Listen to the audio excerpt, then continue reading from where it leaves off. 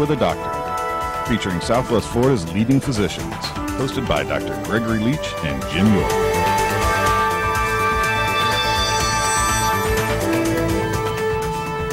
Welcome to Dialogue with a Doctor. I'm Dr. Gregory Leach, and this is Jim York, my co-host. We're here this evening to talk with Dr. Kevin Lam. Uh, Dr. Kevin Lam is a foot and ankle surgeon practicing in Naples, Florida. Good evening. How are you? Good evening. Very well, Craig. Dr. Lam, could you uh, just give us a little background on yourself and your practice in Naples here? Well, I grew up in Philadelphia, Pennsylvania. Um, I trained up at uh, Temple University School of Podiatric Medicine and um, went, uh, did a year training over there, and then I finished off at Mount Sinai Medical Center and uh, Jackson Memorial Health System in Miami, Florida. So, um, and then did you come directly from there to here? Yes, I came directly from Miami to uh, Naples, Florida. Yeah, and you've been here for a while. It's about six years. Yep. In your um, and in your office, uh, where the locations are, and you have other people in your office also, physicians.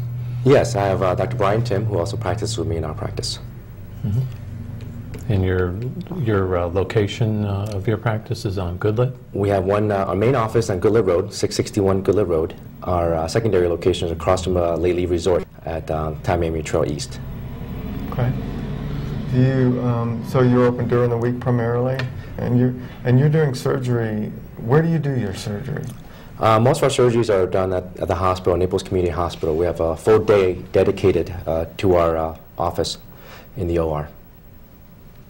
You mean you have a commitment, a full day, a commitment from the hospital? A commitment and a committed room to uh, just for an ankle surgery. Mm, that's a lot of surgery. Well, we deal with a wide variety of cases. Uh, we, we deal with both elective and trauma. So Oh, that really? keeps us pretty busy. Okay. So, if you're doing trauma, do you end up? Are you on call then? Yes, we are. We're on call at the Naples Community Hospital, um, as well as North Collier Hospital for, um, for um, foot trauma and ankle trauma. It, it, it seems to me that there there had been. I, I'm a practicing physician here. A lack of foot and ankle surgeons in Naples. I mean, we didn't have any before you came here, really. Um, correct. When I uh, saw the opportunity, uh, when I came over to visit with my family, and uh, that's when I decided to come over here and offer my services to the community. It just it seems to be, to me, uh, and, and to a certain extent, a, a neglected area of the body. You know, um, is is that your perception, or is it just in certain areas or of the country? Well, in uh, major metropolitan cities, you'll, you'll have a lot more uh, reconstructive podiatrists or uh, orthopedic foot and ankle surgeons uh, available. Uh, but I guess in uh, smaller cities where there's not a big training program for this uh, subspecialty, um, there, there's definitely uh, is a lack. A lack. And how about the difference between an orthopedics and and you foot, foot and you? Uh, Well, there's um, general orthopedic surgeons. Right. They'll, they'll handle everything from knee, hips, fractures of any bone. And then they'll have uh, specialists in uh, foot and ankle surgery in orthopedics, the foot and ankle orthopedic surgeon who do an extra year fellowship after their training. is that okay? Um, but with us, we specialize from day one going into podiatric medical school. And uh, afterwards, we, we train in the hospital uh, anywhere from uh, three to four years. And then we also have a fellowship at the end if we choose to do, if we choose to do so. So you're on foot and ankles constantly from the beginning. Pretty much, pretty much. When the hospital has a complex case and uh, have to take a handle of it, we'll usually take it. And, and I mean, uh, I guess we're talking about surgery about people with, with that have fractures in their foot, but how about arthritis and, and bone loss, or how, how does that affect uh, in your practice what you do? Or, Well, we deal with a lot of uh, sports injuries. We deal with a lot of uh, use and abuse, uh, such as plantar fasciitis. Heel pain is one of the most common things we see. Um, I would say we see about four or five of those cases every day. Um, people coming in with heel pain in the morning. Um, other than that, uh, arthritis of the foot uh, from just wear and tear, and uh, arthritis of the, the toe joints and ankle joints.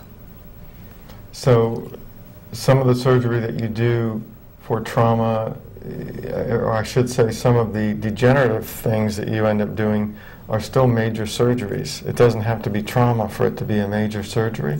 Correct. It does not have to be trauma to be a major surgery. The foot is, com- is comprised of 28 bones and multiple joints.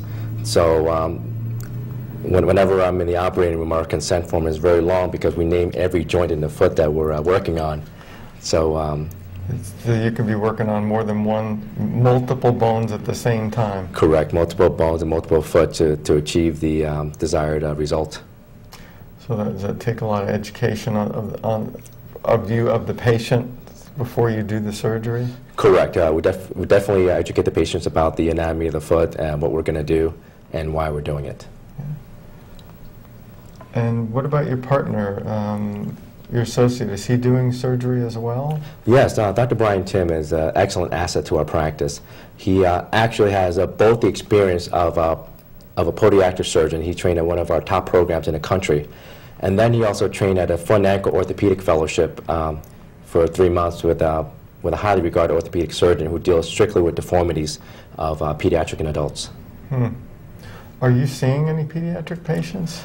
I do. Uh, we see a good amount of uh, pediatric patients, from the most simple uh, heel pain in pediatric patients, uh, inflammation, the growth plate, to uh, to trauma, to uh, flat foot deformity, uh, cleft foot deformity, and uh, residual cleft foot We, deformity. we, in, in Naples, we see sometimes limitations in pediatric medicine, and certain physicians see pediatric patients, and, and very few sometimes will, especially in specialties. So you are seeing all pediatrics. Yes, we do take care of most pediatric cases. Yes. Good, cool. Um, Well, if you, show us what you have. yeah, what are these toys? Well, we'll look at it before we get started. Well, all these toys on the table show the advances in uh, podiatric and orthopedic foot and ankle surgery. Uh, I would say over the last uh, three years.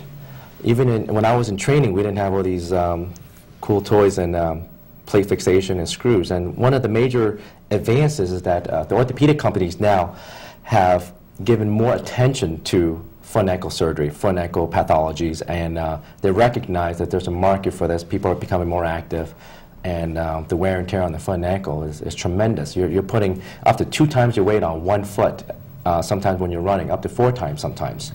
So there's definitely a lot of, uh, a lot of force on this foot. And um, the beauty of these fixation nowadays, number one is titanium, is flexible. So we're able to curve the plate around the structure of the foot. As you can see, the foot is not flat, uh, has contours, and the, um, the screws actually lock into the plate itself. So in order for this construct to fail, the whole thing needs to fail. The whole construct needs to fail. So it's more stable fixation allows us to do more advanced surgeries and um, help more patients. So you're saying this is more um, bendable, or can you s- explain that in more detail, just so patients understand what that means? Well, um, this is titanium versus uh, stainless steel, which I'll show on the table a little bit later on. The uh, titanium, we're able to bend it, but yet it has a higher breaking strength than uh, stainless steel. We're able to bend the plate directly to the shape of the bone of the foot. So it contours right, we laid the plate right on the foot, and uh, we're able to contour all the holes and the, um, the plate itself to the structure of the foot. So the plate is directly contacting the foot bone, and we're allowed to put screws in any direction and lock the plate, the screws into the plate to get a more stable construct. What, ki- what kind of problems, what's the most common thing that you see in, in your practice here in Naples? Or can you tell us that? Just, Well, besides the besides the uh, plantar fasciitis, the heel pain that we see, we see a lot of arthritic uh, conditions such as big toe joint arthritis. You wake, you uh, have the big, big bump on the on the top of your foot. You might some people come in and say, "Doctor, I have a bunion. Uh, bunion's on the side. There's a dorsal bunion or or an arthritic joint up here." So that's where this plate so comes just in to orient them, because I think this is taken apart, um, you're saying that's this joint right here? That the is big toe correct. joint. The big toe joint. Okay, all right. Good. So if these are used to fuse the joints together? Correct. This is used to fuse the, the joint together. That's one of the options. I mean, we have uh, joint implants also for the first toe joint. Um, purpose of showing this is to show the contour of the plate and how it contours to the first toe joint. So when a patient comes in for the option of a fusion, such as marathon runners and athletes, Uh, a fusion is actually one of the best ways to take care of the arthritis in the first toe joint in advanced stages. Um, so this allows us to weight bear the patient a lot quicker. So the old, old uh, mentality of uh, having the patient off their feet for about six to eight weeks after toe fusion is no longer true. We, we get them weight bearing as soon as uh, two weeks even. So even in, in an athlete, you can they can still function after this Correct. for this particular problem. Well, correct. With, uh, with a big toe joint arthritis, you're going to hurt with every step. Um, you try to bend it, it won't bend anyway. So I tell the patients, you're not bending it anyway, but when you do bend it, it causes pain. So let me fuse it for you in the correct position. You won't have pain. You're already locked. You're not losing any motion. Then, so you're just gaining a pain-free uh, way of ambulating. So you would go ahead. At different, at the, at different age groups, it, uh, uh, it could be an athlete that's been an athlete for so many years, or longer, or shorter, or, or you see this in older patients more, or could be a young person. Just give us kind of the demographics there. Well, we see in a good mix of patients. We see them anywhere from in their 30s up into their 60s, 70s, and 80s. Uh, we see them in the younger population is sort of when they have an acute injury, such as when they play soccer, they kick the ball and they jam the joint, they have a turf toe injury. Um, that's when we see in the younger patients. Usually, when you get into your 40s and 50s, that's when we get to see the repetitive uh, strain, people coming in with re- constant chronic repetitive in- uh, injuries causing this arthritis. We're going to take a minute and just take a short break, and we'll be back after just a minute again to talk to Dr. Kevin Lam more about advances in foot surgery, especially joint replacement.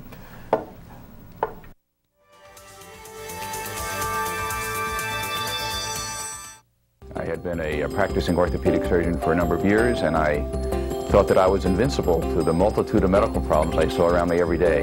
Uh, was quite shocked when I received a phone call telling me that I had cancer of the prostate. Dr. David Spellberg of Naples Urology Associates is the local specialist in treating prostate cancer with the new CyberKnife radiation treatment. Once I got myself together was to do as much research as I could, and what I was looking for was a treatment that would give me the least risk of complications and side effects. And that's where the CyberKnife came into the picture. Advanced CyberKnife technology, precise. It sends just the right dose of radiation to the cancerous areas, fast. Each treatment is only one hour, non-invasive. This outpatient procedure has almost no side effects. The day after my treatment, I was out playing golf, and I'm looking forward now to continuing to enjoy a long and happy and comfortable life thanks to the care of my team of doctors and to the CyberKnife procedure.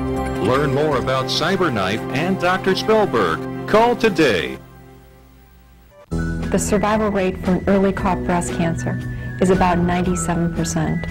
And mammography saves lives by detecting that breast cancer early.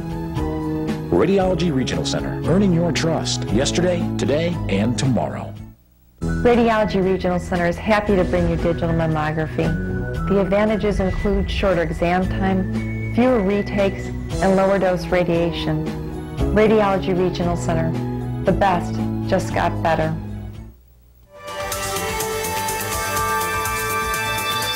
Before you even get to this, welcome back to Dialogue with the Doctor. I'm Dr. Greg Leach, and we're here this evening with Kevin Lam. He's a practicing uh, foot and ankle surgeon in Naples, Florida, and I've known him for quite some time. He's treated many of my patients very well, I might say. Um, we're going to talk now a little bit about um, joint replacement because there's some new stuff with joint replacement I hear. Exactly. Very exciting uh, things about uh, joint replacement.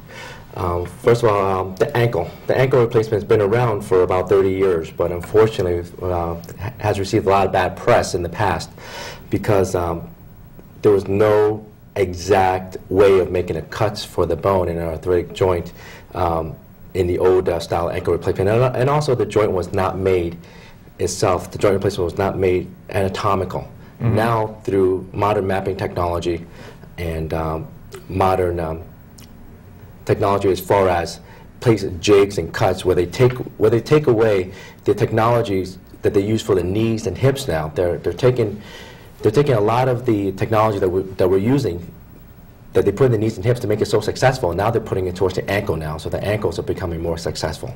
So the ankle's been neglected. Unfortunately, has been. Um, as far as implant is concerned, Yeah, ankle, yeah. we've always been doing fusions. Fusion is always the gold standard. It still is the gold standard Right. for an ankle fusion. But the problem we face with an ankle fusion um, is that once you fuse a joint, such as an, an ankle, you put more strain on the rest of the ankle, place more stress on the rest of the joints of the foot. So great, you fix the ankle, now the rest of the foot um, So starts instead of walking like this, you, you, you can't bend this at all. You cannot. In, Yeah. ankle fusion, you lock this joint. You lock this joint up. So you're really bending through the joint down here. Mm-hmm. You're bending through the joints of the foot. So you're getting more breakdown of the joints of the foot, Hmm. necessitating later surgery for for other things that uh, starts to break down. So when you say that the implants before were not anatomical, can you tell our viewers what you mean by that? Well, yes, definitely. The um, what happened um, back back then in the research of the uh, total ankle replacement, they they treated the the ankle joint itself almost like a knee and hip joint. Unfortunately, more like a, more like the uh, the knee joint, where they expect only this motion up and down. But in reality, the ankle itself has many different motions here when you walk. It rotates, it goes up and down, but it rotates also. So that's one thing. With this ankle implant, as you can see, Greg, this is wider in the front and also narrow in the back.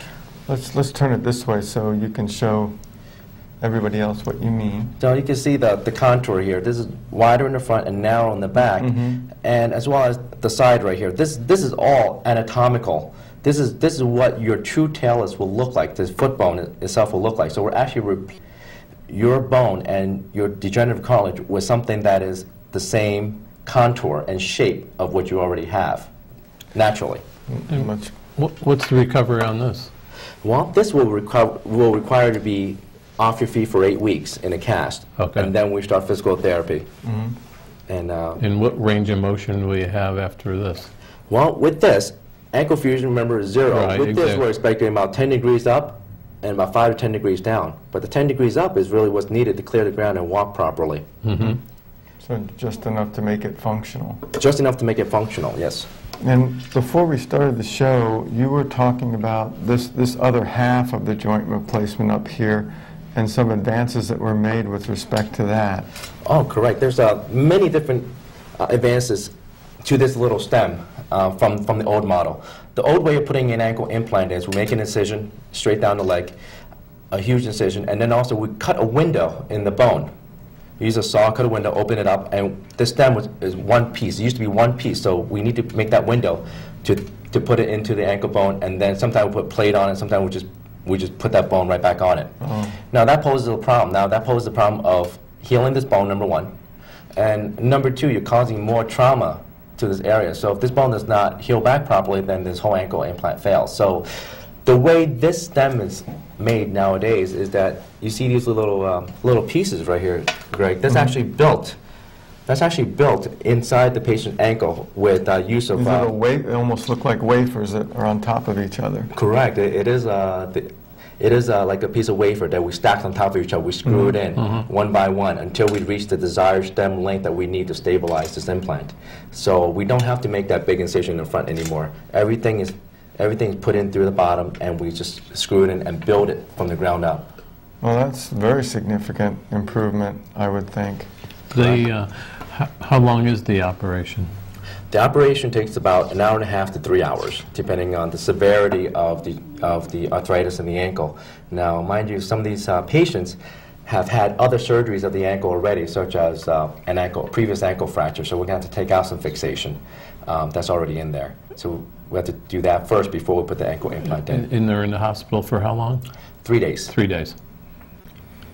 You, you um, were talking um, about pain management, and, and, and, and people are worried about pain after foot surgery, and it is something that we have to walk on, which makes it more difficult. Can you talk about pain and how you guys manage that? Yes, Greg. Um, one of the biggest fears that uh, patients have about foot and ankle surgery is pain. They heard, oh, so and so, my neighbor had surgery and said it was the most painful thing she's ever been through. That's the greatest fear, and you know that that fear is not only in the general public, but even the medical community. I had a couple of my general surgeon buddies. Their uh, their wife was contemplating uh, foot surgery, and then um, same question was asked. And I told them, no, it's really not that painful. Even though I see them in the OR every week, we talk every week, they still have the misconception because everybody else in the community thinks that. Um, the way the way we control pain nowadays is so much better than than prior. Uh, number one, having this dedicated Friday to foot and ankle surgery at Naples Community Hospital has been a great help to us. That means we get our dedicated anesthesiologists who are specialists in, in blocking nerves of the lower extremity. They can find a nerve behind your knee that will knock out all the pain sensation to the bottom of your foot for 24 to 48 hours. Wow. And a lot of the surgery can be done without general anesthesia now because of that. These specialist anes- anesthesiologists, they are assigned to us every Friday. Um, that's one way. Another way is, uh, with, in addition to doing that block, we also give post-operative uh, light corticosteroid injection into the operative site, and we also give uh, anti-inflammatories and uh, and pain and pain pills to help them. But most of the time, our patients don't even require uh, the narcotics that we give them. Really? Yes. Why? Uh, just because of the preoperative pain management. Uh, when I was in residency, that's when a major um, paper was published about using uh, preoperative anesthesia or perioperative uh, local anesthesia for, for pain management to decrease the pain reaction afterwards. So the basis behind that is the anesthesia group who did the study said that if you knock out the pain response even before it starts, rather than waiting to the end to give the patient a block, you stop that pain response. So the patient is much happier and you don't get that spike in pain after surgery. hmm So it's pre- prevention. Definitely prevention, be, prevention before the operation, and it definitely makes a big difference in our patient. Yeah, that, that's interesting. Um, What do you have down there on the floor, uh, Dr. Lam? Well, what we have on the floor is uh, a mix of old technology with new technology. University of Miami colors. That's where we did some of our surgery over there. And um, basically, this, this, this is a cage. Um, this has been in Russia since the 1950s by a guy named uh, Dr. Elizarov. Uh, he's, uh, he's world famous for limb lengthening. Uh, he used to lengthen dwarf legs with the use of these rods. You can see you could twist and turn these nuts and bolts to elongate the space between the two rings. So what we don't do this here in Naples, but what we do, what my um, associate has done in the Limb Lengthening Institute in Maryland and other limb, limb lengthening institutes around the world, is that for a dwarfism or, uh, or after a uh, severe trauma case, one leg may be shorter than the other. So we bring on this apparatus, they make a cut in the bone, and they actually grow the bone at one millimeter a day.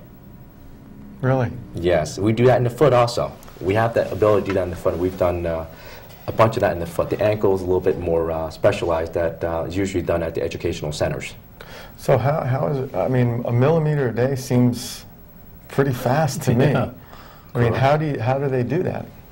Well, a couple of different ways. Uh, number one, when we make the cut, we, we do not make a big dissection. There's a structure around the bone called periosteum that, that, uh, that covers around uh, almost like an envelope or shrink wrap around the, around the bone. That acts as the tunnel. When, you, when we go in, we make a cut in the bone, we make, a, we make drill holes and we pretty much um, we use a little saw blade and we go in and cut it, but we don't interrupt the envelope. The envelope acts as a column, so when we twist it at one millimeter a day, it allows the bone to grow in that column. And uh, that, that has been uh, working great in uh, different countries and uh, in uh, special in specialty centers So around the, the the, United States. the, the, the, co- the column or the, the covering of the bone kind of helps support and stays intact. Correct. And then you're just lengthening the bone inside that cover? Correct. We just lengthen inside the cover. That's, I, I didn't know you could grow bone that quickly. Oh, yes, we can. We have uh, one very common thing that we see in the foot in regards to this. Um, we'll notice uh, patients with uh, fourth toe that is a little too short. Uh, we will notice that. Here, okay. I don't know if I did that to you. All this hardware. We have a fourth toe that's too short. Well, we put a device on the outside of the fourth toe here, and we make a cut. Also, the same principle, and we're able to lengthen the bone. Either A, they were born with this, or B, secondary to a fall or break in the bone where we have to grow the bone. And we can do that at any age. How do you do that? Well, we put a fixator, we put two rods here, in the bone. We make that cut again. We keep the envelope. Op- we keep the envelope intact. So it can, So when we grow it, the bone will grow inside that envelope. So that way we don't need a bone graft. We're not having to deal with um, a lot of open surgery and patients using their own bone, and patients do really well with that. And they're able to walk So day you, number you one. use the term fixator. The erectostat device there is, is, is, a fixator or an external fixator? Correct. That causes So external fixation. yes. Instead of, so instead of having a cast, what you're saying is you use that to hold it steady? Yes, we use that. We use that to hold it steady and also to guide, to guide the bone to grow. If there's a deformity, we can correct it with the fixator by dialing the um, dialing the rods at different at different uh, speeds.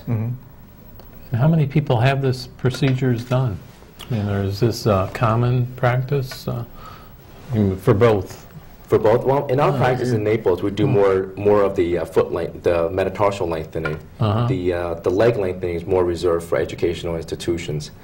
But uh, I would say we average about different fi- five and ten a year that we that we do on the metatarsal.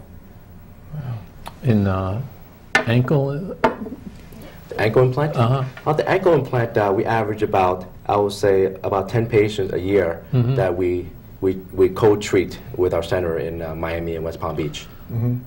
Is, is there a lot of education about this in the, out in the medical and, you know, general, general public hear about it? Because it's the first time I've heard about it. Uh, Well, Jim, It's all about hips and knees. Correct. Well, that, that, that's the market. The hips Uh-huh. and knees, the bigger market, uh, there's, there's a wider patient population for that. Uh-huh. The ankle is very selective. And uh, education is out there on the internet. Um, Mm-hmm. And uh, our first few patients that underwent these surgeries are actually, were actually engineers. They researched this online and they Oh. said, this makes sense. So they're ecstatic. Uh, one guy actually had both sides done. And uh, being engineers, they're, they were very impressed how about the accuracy of this implant. Can you talk um, uh, about plantar fasciitis for just a minute? I know it's not a surgical, well, it could be a surgical It condition. I don't know, but um, it's very common in my practice, and I think common to patients. Can you educate us about that a little bit? What is it, and how does it, why does it happen? One minute. Well, plantar fasciitis is the inflammation of the tissue on the bottom, bottom of the foot. Imagine a rubber band going from here to the toes. It can happen either two ways. It could be either uh, an acute trauma, such as you step down in the morning wrong and you, and you stretch this out while the foot is still cold, cool. Because when you sleep, your foot bends like this. It relaxes, so you can strain it. And so you get this inflammation here. So the common, most common treatment that we do and that family practitioners do and urgent care centers do you give a low cortisone shot. That resolves most of it. But a lot of times the patient has to stretch at home.